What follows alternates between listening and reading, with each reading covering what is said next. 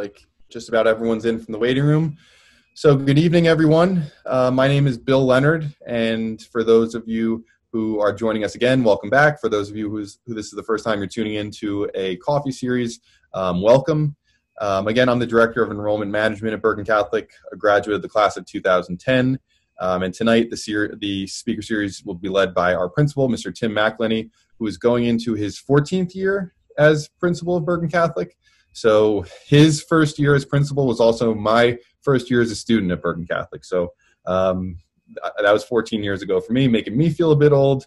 But um, he's been an incredibly successful principal. Um, he has a lot. Of, he's a great resource, and for all of the incoming uh, parents, this will be a great opportunity to hear a little more about the Bergen Catholic academic experience and what sets us apart from some of our competitors. So, uh, with that, I will turn it over to Mr. Tim McElhinney.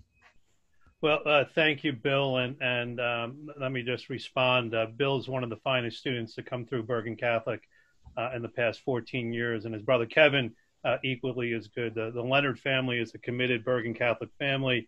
Uh, Bill's dad, Bill Senior, is also a graduate of Bergen Catholic.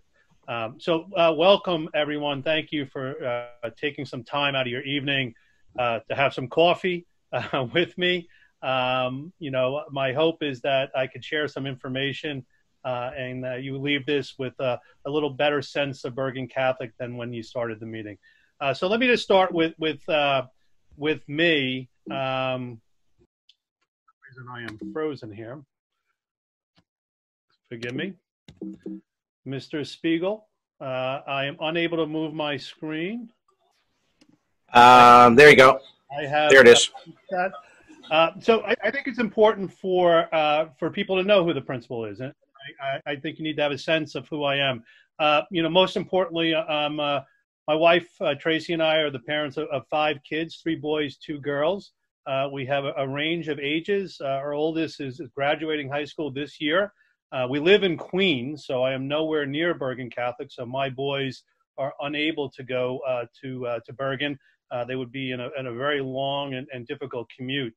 Uh, but uh, we, are excited uh, to, to be the parents of these five kids, and uh, we are tired all the time as a result. I went to high school in Brooklyn, a school called Poly Prep, which is right underneath the Verrazano Bridge on the on the Brooklyn side. went to Muhlenberg College in Allentown, Pennsylvania. have a history degree from there, and also went through the teacher education program, which means I student taught. I have a master's degree from Long Island University. Um, I have a, a, certificate in online teaching, uh, which I thought was important to get. I got, uh, I received that certificate about four years ago, and it has helped as we have transitioned, as you can imagine, uh, to the virtual learning format that we are all in uh, right now. And currently, I'm in a, an education specialist degree program at Seton Hall. So my wife is just thrilled that I keep going to school uh, and trying to spend as much of our money on my tuition and not on my children. Um, my experience, I began my career at St. Anne's School, which is an independent school, private school in downtown Brooklyn in the Brooklyn Heights section.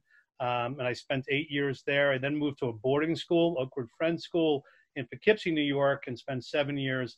And I have been very lucky to have uh, to be the principal of Bergen Catholic High School for the past 14 years. So uh, a little bit about me, and, and I and I do think it's important that you know us more than just by name, but some of our background. So getting into uh, you know tonight. Now I know we have a mixture of people watching, some which are ninth grade rising parents or eighth grade rising parents to be ninth graders so that your kids will be here next year. We have some people on, on the call that are just uh, taking their first look at Bergen Catholic. So I hope I'm able to, to, uh, to hit both uh, viewing groups with some information. So our graduation requirement at Bergen Catholic is 140 credits. And that means four-year requirements in math, English, and religion, three-year, three-year requirements in lab science, uh, social studies and world languages. Now, in each of those three year areas, we do have a fourth year of the sequence, so kids can progress on. If they choose not to stay within those department areas, uh, we have elective courses that they could take, and they would certainly enjoy uh, doing that. We round out the 140 credits with what we call our common period courses, which are art, computer science, health, physical education. So that gets us to 140. Now, the public schools in New Jersey, it's 120. It doesn't mean that kids in public schools in New Jersey can't take 140 credits. They can. But at Bergen Catholic, you must. Otherwise, you cannot receive a diploma. Uh, so that's the difference between uh, the, the two school types. And we are excited about the program that we're able to offer, and we do think it's the appropriate way uh, to do this in this day and age. Uh, so looking at course placement. Now, this is directed more towards the incoming group, but I think it's valuable for the seventh and eighth grade parents who are watching. The way we decide our course placement, meaning whether they're going to be in college preparatory courses, honors courses, or high honors courses, which I'll show you only exist within our math sequencing, uh, we use your HSPT score. So your son's placement scores or co-op. I know there's some confusion there at times, but it's the entrance test and we take their total composite score. That's kind of their total score on the test. But then we dive into the sub scores. Uh, your son spent a lot of time on that test and we want to value their, their experience with it. So we do try to pull out as much information as we can. We rely on the transcript, though, significantly. How has the young man performed in class with a teacher, you know, day to day, sixth, seventh, and eighth grade? And we really value uh, that experience and that information. For kids that want to challenge their placement, so they're not placed in an honors course after we review the total composite, the sub scores on the HSPT, and their transcript, kids have a chance to show us that we were wrong and they can take a placement test. Now, right now, we're in a unique situation because we're in a virtual format. So we're working out how to do that for the incoming group. Typically, we would just bring you in on a Saturday, and if you'd like to take a test, for instance, in, in algebra or geometry, we sit you down and have you take the test. So right now, we're in a different scenario. We use te testing software with our students that doesn't necessarily allow us to use it for anybody who we want to just test. So we're trying to figure out the best way to do that, and we'll have an answer you know, within a week or so time to make sure that all the incoming kids know how to do this and uh, we could use that score as well. So that's the way, that's, those are the criteria or information points that we use to make our best decision on placement. And we try to get that right so kids aren't jumping all around. Now, here's what a freshman program would look like. And I want to start by saying college preparatory is an excellent pathway of courses. Our teachers prepare well they prepare hard because these kids challenge them in those classrooms. There is no difference in preparation time or expectation with the teachers, whether they're teaching college preparatory, honors, or AP courses. They give the same effort and the expectations are the same, which is the young man needs to try the best he can and live up to expectations of doing a little more than what he thinks he can do. So the other part about this is we're not a school that is all in one or the other meaning you're all in college preparatory or all in honors. We mix and match to the skills and talents of the young man. So you might be in two honors courses and the rest CP, or flip flop that the other uh, the other way. We want to make sure we're putting the kid in the best position possible for him to have success. But take out the honors and the CP designations for a moment, and you'll see that every student takes eight classes. Now, not all eight classes meet every day, but they'll take math, English, uh, biology, science, world language, I'll come back to that, world history, religion, and then in the common period, which is a term we use uh, at Bergen Catholic, they'll take one semester of art, one semester of engineering, and they'll have a full year of PE. And that's how you get the eight courses. Now, those art, engineering, PE courses don't meet every day or six out of the seven days. They meet less, which is why we call it the common period. But when you look at the listing, please recognize that students at Bergen Catholic are enrolled in eight classes for their semester. Okay, and that's the way we look at it. Now, we do offer for our world language offerings Latin, Mandarin, and Spanish.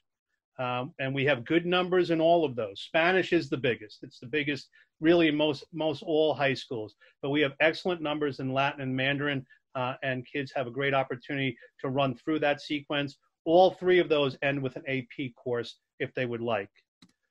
If we look at the math and science sequences, and I know for those that have come to an open house, you've heard this before, uh, but it is the number one question I get in terms of sequence. How do you move a kid from the eighth grade into the ninth grade. And it really is us valuing the eighth grade math experience that your son either is having or will have.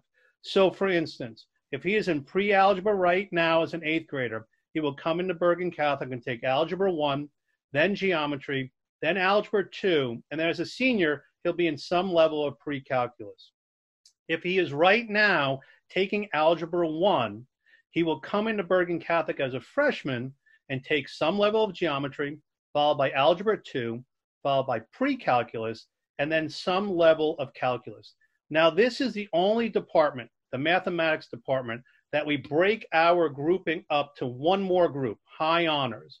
And we do that because of the terminal course of AP Calculus BC. That is a unique group of kids. And we try to cohort them together from the freshman year through. So this is the only department in which we have a high honors designation. Okay, but again, any one of these pathways is an excellent pathway. Now, our lab sciences, we go in the, in the order of biology, chemistry, and physics. We offer currently AP chemistry and AP biology. However, starting next year, we have added in AP environmental science as another option in the senior year. Now, if you are a math kid or you're the parent of a math, uh, uh forgive me, of a science uh, centric kid, uh, he will take five lab sciences before he graduates. So assume that he's going to take biology, chemistry, and physics. He will potentially take two other AP sciences, which would be either AP biology, AP chemistry, or AP environmental science. Uh, no one gets out of Bergen Catholic without taking physics. So even if a kid would like to take AP Bio in the junior year, which is absolutely a possibility, he will still have to take physics in the senior. Year. We think physics has great value but on everyone, but particularly on young men that would like to follow science into uh, a major in the college years. Uh, Mr. McLean, we have one question in the chat about um, high honors. So the question was, does high honors continue all the way through? It does. Now, now, thank you for, for that question. I was going to address it at the end, but let me address it now. We evaluate every student every year at the end of the year to make sure they are still appropriately placed. So there will be some movement from CP to honors to high honors. All right, so, so depending on how the student is performing year over year over year, yes, it is, it is a possibility, a real possibility, that the student, if he's in high honors as a freshman, will finish in high honors as a senior, which means that he's taking AP Calculus BC. If you're in the honors pathway coming in with geometry, your senior year course, or the student's senior year course, would be AP Calculus AB. Okay, so there's two Calc AP courses. So the honors is directed towards the AB, and the high honors is directed towards the BC. But we do have movement back and forth. If you're the parent of a young man who is currently in pre algebra, we can't skip algebra. I get that question a lot. Can he just take a placement test and come in and take geometry as a freshman. No, we, we can't do that. He has to take the course. So at some point, depending on how he's doing, if he's performing very well, we will, we can have a conversation about him taking a course over the summer that would progress his sequence so that he could take some level of calculus as a senior. But believe me, pre-calculus is an excellent course as well. Is it all right to move on, Bill? Yes. Now, looking at the humanities side of the building, uh, we can never leave that area, you know, out of a conversation. Um, we have, as the freshman year, looking at English, Intro to Literature. It's really a survey course. Uh, intro to Literature. We then follow that in the sophomore year with American Lit, British Lit in the junior year, and then World Lit in the senior year. Humanities covers a little bit more, obviously, if you're in the honors, uh, a little more uh, topics and a little more breadth and depth, if you would. I know it's a term that's used often. Um, so intro to lit, American lit, British lit, and then world lit is the sequence at Bergen Catholic. On the social uh, studies side, it's world history as a freshman, U.S. history one sophomore, U.S. history two junior year, and then we have electives that fill out that fourth year. You can take if your son is is qualifies in terms of grade and placement test. We do have AP European in the sophomore year. Uh, so that's our very first opportunity for an AP course for a young man at Bergen Catholic, and it falls within the social studies sequence. Okay. Here are our 17 AP course offerings. And as I just mentioned, uh, we have uh, the earliest opportunity would be in the sophomore year. Uh, we have a number, and these are traditionally placed. So, for instance, we'll have seniors take AP Bio. Uh, we'll have seniors take AP Computer Science. You know, when you get up to that that age range, there's a possibility to kind of you know you know make your schedule as you would like it. Uh, but traditionally, these are where they fall, um, and these are 17 courses. The two bolded courses are the new ones for next year: environmental science and psychology. So they are being offered for the first time in the 2020 21 school year. And I do want to note that economics, even though it is listed as one course, the kids sit for two exams, the micro and the mic uh, and the macro exam. Uh, so that is uh, 18 tests within 17 courses. Um, we try to cover, uh, you know, the range of offerings. The AP College Board offers 32. We don't think it's appropriate for us to offer 32. We feel very good at 17, and we feel good about bringing in the environmental science and psychology. Uh, these are areas that kids were looking uh, to have some AP opportunities uh, within. Okay. It's a little early for freshmen to think about that or seventh grade parents, but nonetheless, you know, if kids, we want to push, and if this is where they land, that's terrific. But we also want you to know that we have 24 dual enrollment courses. So courses that earn the student now, these are classes that are taught at Bergen Catholic by Bergen Catholic teachers, but it satisfies both the high school requirement and functionally a freshman year requirement in the college level. So we have 24 of these courses. We partner with Iona College, Seton Hall University, and the University of Delaware.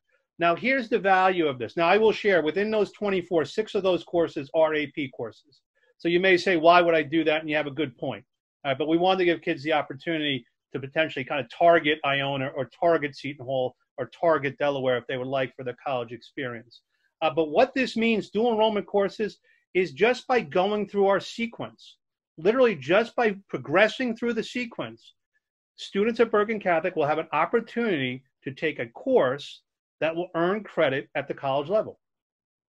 Now, at Seton Hall, for instance, the per credit cost is you know somewhere around $1,300. You know, it's usually around $100 for the high school program. Okay, so I'm not saying you can complete your college career as a, as a senior, but you can make some headway there um, and do it at a much uh, a savings of what it would be at the at the college uh, tuition rate. But we're really excited about this because it doesn't mean anything other than you going through our sequence that you'll be able to take a college level course. Now, I can't promise where those tra- where those credits will transfer. Um, many colleges take them. Uh, certainly, Iona Seton Hall, University of Delaware. Uh, but but regardless, putting that on your profile when you apply to college is definitely a leg up. Okay, so between the 17 and the 24, or the 17 and the 18, because six of these are AP courses, I don't want to double dip. We have 35 opportunities to take college level courses at Bergen Catholic. I think that's an exciting opportunity. Um, now, this is uh, for, you know, well, I guess it's for everybody, but certainly for the group that's coming in. You know, how do we make sure you're aware of how your son's doing? So we have, uh, we have a, as our learning management system, uh, Blackboard. And on there is our, you know, you can find your son's grades at, at any time. Now, listen, there is a, a lag of, of grading. You know, if something is, is due at, you know, two o'clock, it's not going to be graded by three o'clock. So there's a little bit of that but you have real time grading uh, that you could follow your son through each of his courses. Uh, so that's day to day as much as you would like to be on. We, uh, okay, the other part about this is we don't view Blackboard as a communication tool. So it's a number, it's a, a numerical grade, but it doesn't tell the story. So we do ask teachers to reach out to parents if there's a concern. We also ask them to reach out to parents if the student's doing remarkably well, because we want them to know that as well. All right, so it's not just, you know, parents should log on. If it's a 72, they should be emailing us. That's not the way we approach it. The 72 means nothing necessarily, and we have to put it in context. Maybe this was the most difficult topic we've covered in the year, and his 72 was a great effort for him. Okay, so we want to be able to provide uh, context. This isn't every day, but we certainly want to be able to say this is what the grade means. Now, formally, we, re- we produce grade reports at the mid quarter, which is what we call the progress report. So we produce four of those a year at the halfway point of each of our four quarters. We then provide a report card at the end of each quarter. Okay, at the end of the first quarter, at the end of the first semester, the end of the third quarter, the end of the of the of the second semester. We have back to school nights. We have two parent teacher conferences uh, a year, formal. Yet we have informal ones uh, as need be with parents, uh, and we arrange for those. So we want to make sure you're aware of how your son's doing. Here's how we calculate. This isn't you know you know you know high end uh, uh, calculus. Uh, our for, all our quarters are worth four, 20%, and our midterm exam and final exams are worth 10% each. So that gets you to 100%. We do give full semester grades, uh, and then we have we have the second semester where we add everything together. You'll get a semester grade and a year-end grade. Uh, you guys, your kids will not be taking electives yet, so I don't need to get into what does a, a semester elective grading um, calculation look like. You know, that's that's four years down the road. Uh, but this is how we factor out our grades. Uh, now, listen, we're, we're in a little different scenario right now with our remote learning, virtual learning format. So we adjusted um, and we've given a little bit more weight to the third and fourth quarter, and we have taken away the final exams for this year and this year only. Uh, so at times we need to adjust, but this calculation is how we do it. Um, uh, you know, for you know the, the, better part of my career at Bergen Catholic, other than you know something, some disaster or issue such as the pandemic. Sandy was another year in which we altered our grading calculations. Weights. Now everybody you know likes to talk about how we calculate it so we really want kids to try. And, and we don't want kids to think, oh my gosh, I shouldn't take an honors course or an AP course because what if I get an 80? You know, what if I get a 70? Now we, we catch the students by giving weight or applying weight to honors and AP courses. So if you take a look at what I have on the screen, a CP course, college preparatory course, is the value of one. An honors course is the value of 1.1 and an AP course is the value of 1.15. So with simple math, if you just take, to say in this situation, a student scored a 90, so a CP class, his weighted grade would be a 90. It's a 90 and a 90. If he's in an honors class, the 1.1 value would bring that weighted grade up to a 99. If he's in an AP course, that value would go up to 103.5. We only apply the weight at the end of the year. We only apply the weight at the end of the year. So a young man will get a simple GPA and a weighted GPA. On his transcript, he will get a simple GPA and a weighted GPA. Okay, and this hopefully prompts kids to take that chance to take the higher level courses and understand that we'll catch them with the weight if they need it. Um, one of them will do well anyway, and the weight obviously this helps them more and more. Okay, but we hope students and parents can see the value in that. Uh, I am wrapping it up. I have this two more slides. Uh, we use the computer uh, in, in, really exciting ways. We use uh, two iPad mini and, and a MacBook. Um, we use the MacBook for content creation, so papers and, and, and uh, uh, virtual labs and animation, um, you know, note taking, you know, simple as that, but really exciting stuff. We use the iPad mini uh, for content delivery. All of our textbooks are, are digital. we take all, most of our exams, if not all of them, but most of our exams uh, through ExamSoft, which is used on the iPad as well. Um, and we, we try to make the, the learning process as exciting as we can, and the computers help us with that. Um, now, the last part is how do you partner with, with us? Because it is a partnership. Um, and we do want to hear from you and, and, and, and, and speak with you. There are some, you know, best practices though. And I know particularly if you're coming from a small Catholic school, usually the principal can answer every question. I am so impressed with Catholic elementary school principals. I could never do their, their job. It's really remarkable.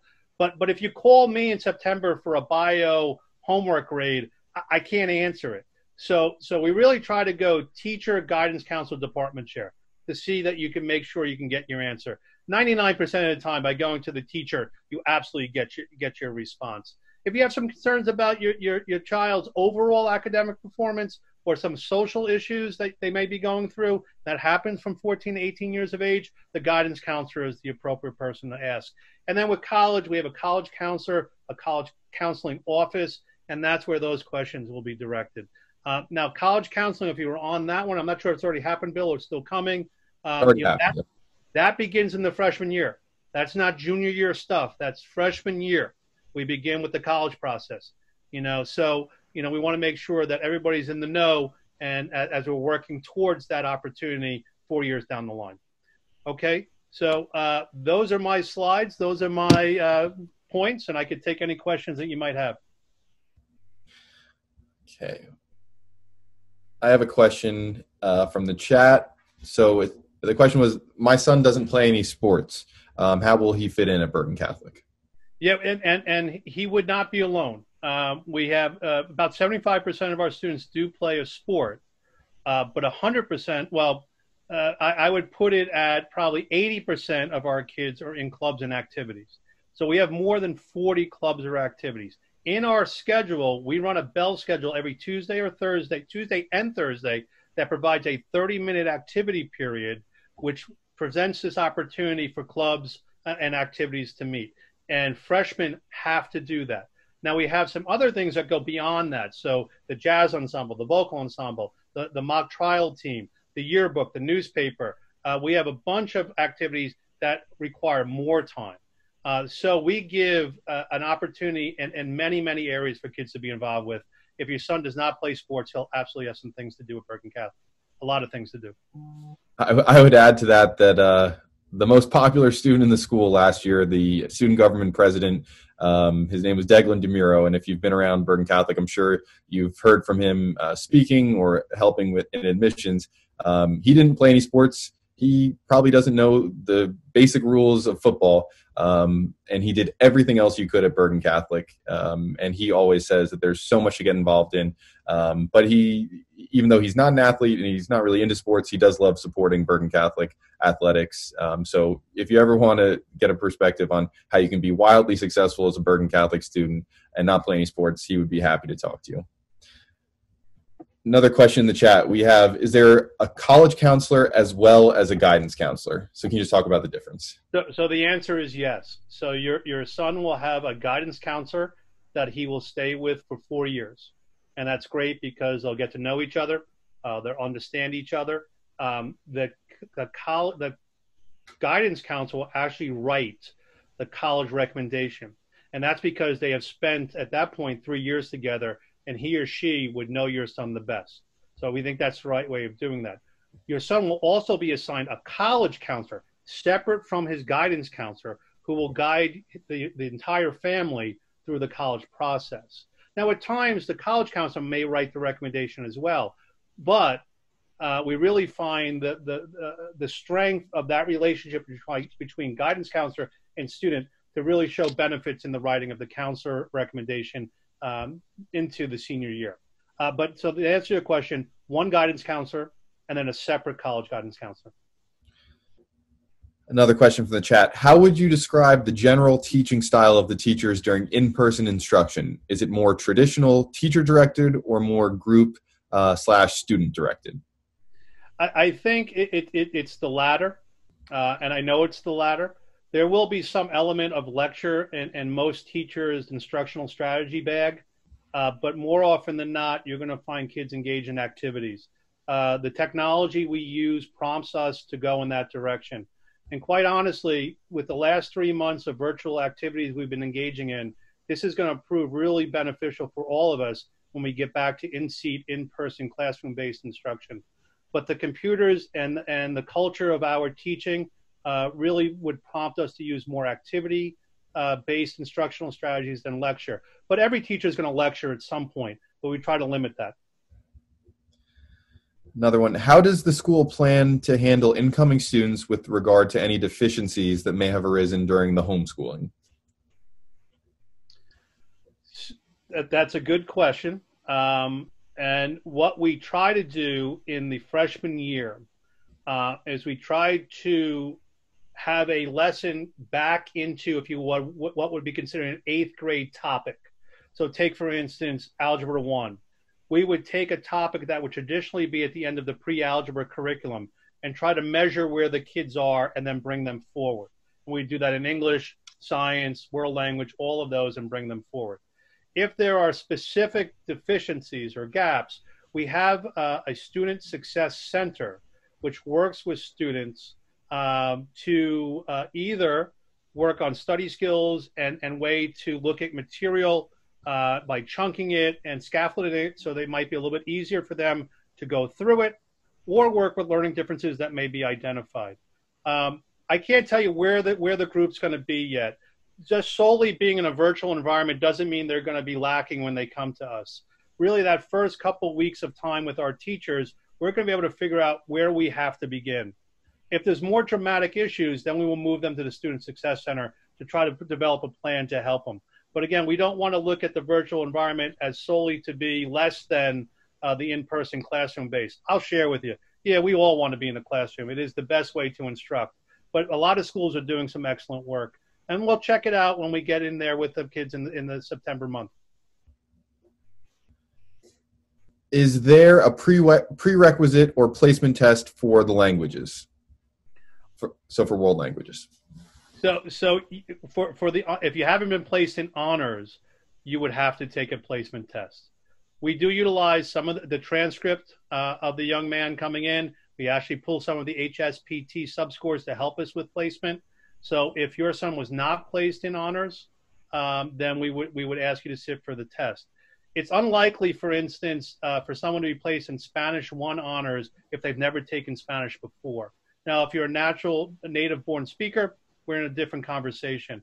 But if, for, for instance, if your son takes French at the moment uh, and going into Latin uh, or going into Spanish, he would not be at an honors level. I will share with you, I know this is going to be somewhat confusing. We only have honors level Mandarin and Latin. While the numbers are strong, what I mean by that is more than 60 students in each program, we don't have enough students to break out between honors and CP. So if you do take Mandarin, which is Chinese, or Latin, your designation will be honors. With Spanish, the bulk of our kids take Spanish. There is a designation between honors and CP. Okay, question from the chat. What are the discipline procedures? Well, we, we have expectations, uh, and we spell them out in our family handbook. We also reinforce them, particularly in the freshman year, of what we think a young man should do as a Bergen Catholic student, which is do the right thing even if no one is watching. Um, so we do have a code we do have an expectation. And listen, kids are going to make mistakes, but the, in the real world, there are consequences. So there will be something assigned to that mistake to help the young man understand the next time he's presented with the same situation, how maybe to think differently.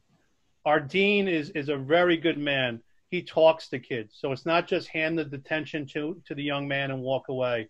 It's a conversation about how did we get here, what happened, and how can we do better. But we follow a detention system. If you earn enough detentions, you'll be put on probation. If you get too much in terms of probation, you know, you could be suspended. There are also moments where acts, if they are so egregious, it could lead to suspension or expulsion.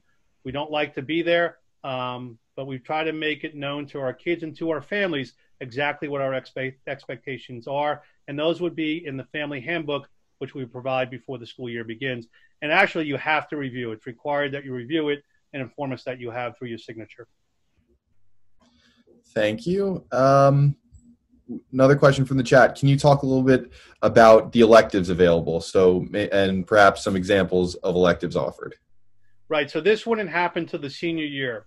Uh, electives are only uh, an option for the seniors because of the course of study with 140 credits and four-year requirements and three-year requirements. So we have um, uh, sports journalism, we have business law, we have earth science, uh, we have economics, even though we have economics uh, at the AP level. Um, we have uh, computer animated design. Um, I'm sorry that I just, uh, we have statistics. Uh, we, we have about 20 electives that kids can choose from to balance out that senior year schedule. But in terms of the freshman, sophomore, and junior year, there are no opportunities for choices for electives that would occur in the senior year.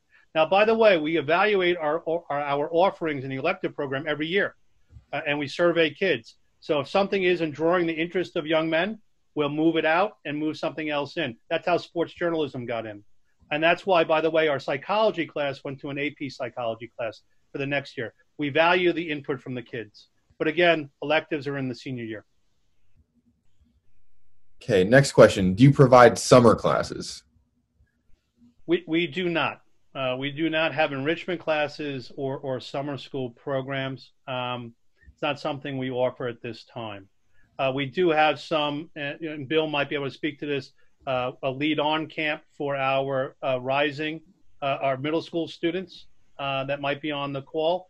And we have something in the junior year for the SAT prep, ACT prep, and college boot camp. Uh, but that would be the only two opportunities right now in the summer at Bergen Catholic.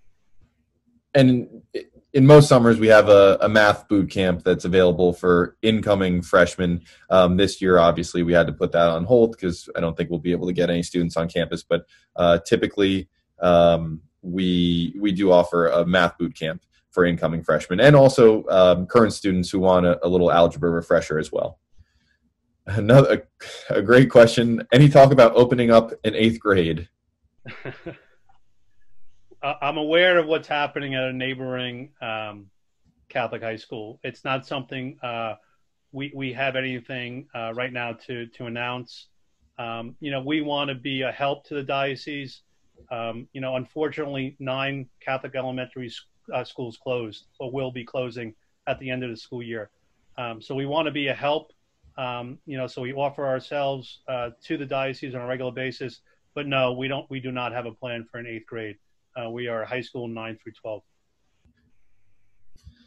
I think the Leonard family, if there was a Bergen Catholic kindergarten, we would have taken advantage of that. But no eighth grade, no eighth grade in the foreseeable future. All right. Do we have any other questions?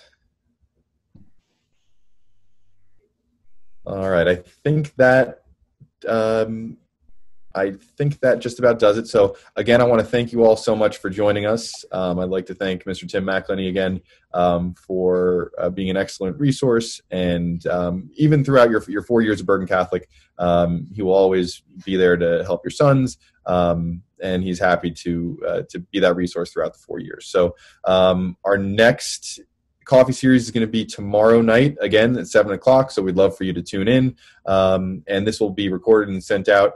Um, so if you ever need to take a look at it, it will be available. So thank you all so much for joining us, um, and I hope everyone has a great night. Thank you very much, everyone.